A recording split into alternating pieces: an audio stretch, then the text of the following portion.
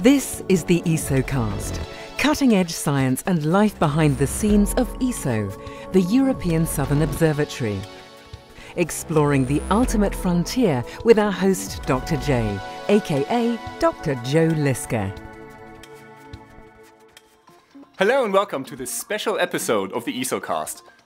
Leading up to ESO's 50th anniversary in October 2012, we will showcase eight special features portraying ESO's first 50 years of exploring the southern sky.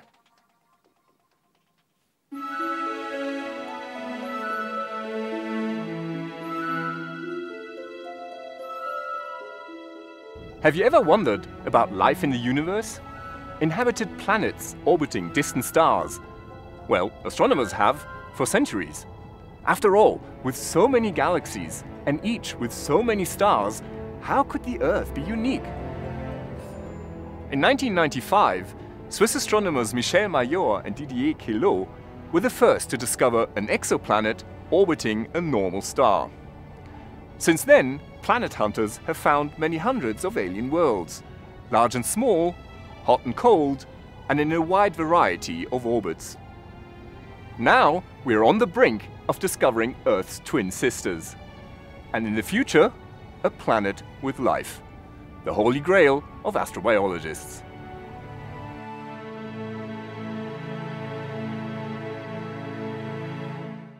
The European Southern Observatory plays an important role in the search for exoplanets.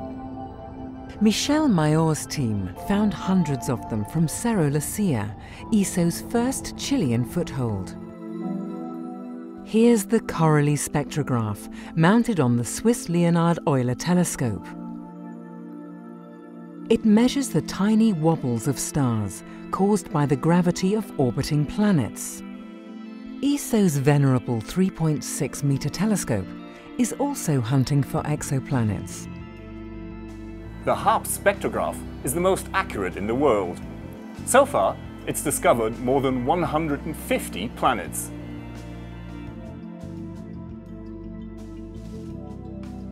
Its biggest trophy, a rich system containing at least five and maybe as many as seven alien worlds.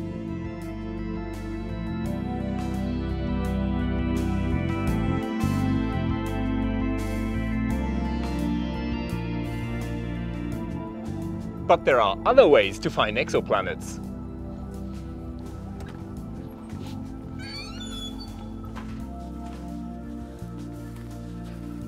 In 2006, the 1.5 meter Danish telescope helped to discover a distant planet that is just five times more massive than the Earth. The trick? Gravitational microlensing. The planet and its parent star passed in front of a brighter star in the background, magnifying its image. And in some cases, you can even capture exoplanets on camera. In 2004, NACO, the adaptive optics camera on the Very Large Telescope, took the first image ever of an exoplanet. The red dot in this image is a giant planet orbiting a brown dwarf star. In 2010, NACO went one step further. This star is 130 light years away from Earth. It is younger and brighter than the Sun, and four planets circle around it in wide orbits. NACO's eagle-eyed vision made it possible to measure the light of planet C, a gas giant 10 times more massive than Jupiter. Despite the glare of the parent star, the feeble light of the planet could be stretched out into a spectrum, revealing details about the atmosphere. Today, many exoplanets are discovered when they transit across their parent stars. If we happen to see the planet's orbit edge on, it will pass in front of its star every cycle. Thus, tiny regular brightness dips in the light of a star betray the existence of an orbiting planet. The TRAPPIST telescope at La Silla will help search for these elusive transits. Meanwhile, the Very Large Telescope has studied a transiting planet in exquisite detail. Meet GJ1214b, a super-Earth 2.6 times larger than our home planet. During transits, the planet's atmosphere partly absorbs the light of the parent star. ESO's sensitive FORS spectrograph revealed that GJ1214b might well be a hot and steamy sauna world.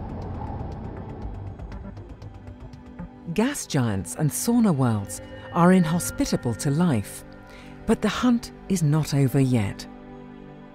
Soon, the new SPHERE instrument will be installed at the VLT. SPHERE will be able to spot faint planets in the glare of their host stars. In 2016, the Espresso spectrograph will arrive at the VLT and greatly surpass the current HARPS instrument and ESO's extremely large telescope, once completed, may well find evidence for alien biospheres.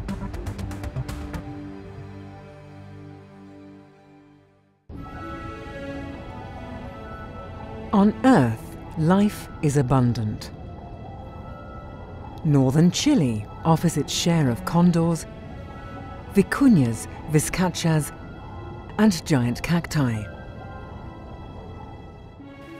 Even the arid soil of the Atacama Desert teems with hardy microbes.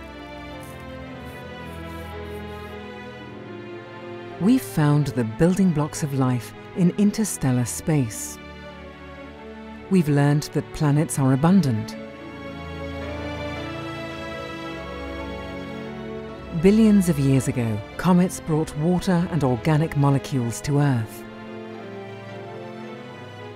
Wouldn't we expect the same thing to happen elsewhere?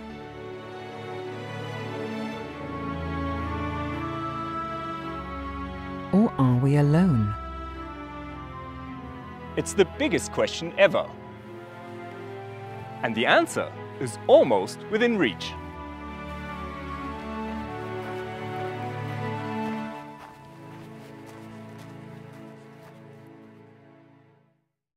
This is Dr. J, signing off from this special episode of the ESOcast. Join me again next time for another cosmic adventure.